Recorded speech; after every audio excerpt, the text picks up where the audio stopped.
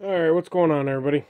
I'm done working outside, so we're gonna get this price update going and tell you what I got for that, that big load of copper. Okay? So, starting off, low grade wire, I got 60 cents a pound, $8.40. Copper number two, I had 25 pounds, $3.86, and I got $96.50. Cat 5, uh, Cat 5 dropped a little bit. That was a dollar ten for two bucks, 20 cents. Yellow brass was $2.05. I got $16.40 for that.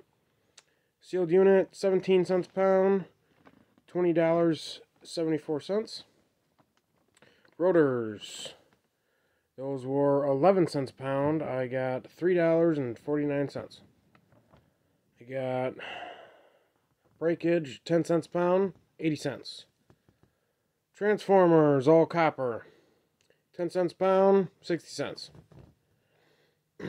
Clean AC combo, clean aluminum, copper, radiator. $1.65 a pound. 110.55. Clean sheet aluminum, 35 cents a pound, $4.20. I had a little bit of bare bright wire. That was $4.20 a pound, $16.80. And then finally, number one copper. $4.17 a pound. It wound up being $800.64. Holy smokes. Holy smokes. So, yeah, receipt like dang grocery store going on here.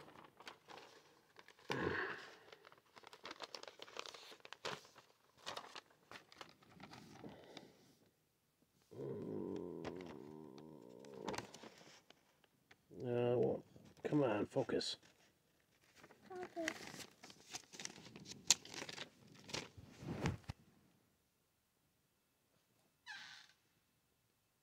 don't know why it won't focus.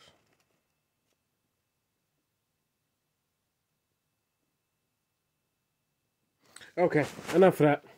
So, grand total was $1,083. So that was a pretty dang good scrap run. So, I hope you guys all enjoyed the price update and how much I got from the video from the from the scrapyard with all that copper and uh, we'll see you guys next time.